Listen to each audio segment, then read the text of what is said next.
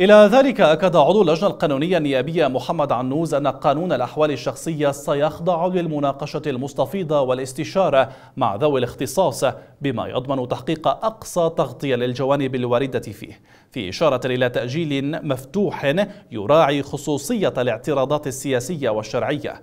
قال عنوز إن مجلس النواب مستمر في إقامة الورش واستضافة الجهات المعنية وخصوصا مجلس القضاء الأعلى باعتبارها الجهة التي تقوم بتطبيق مثل تلك القوانين كما هي القوانين الأخرى المدنية والجزائية.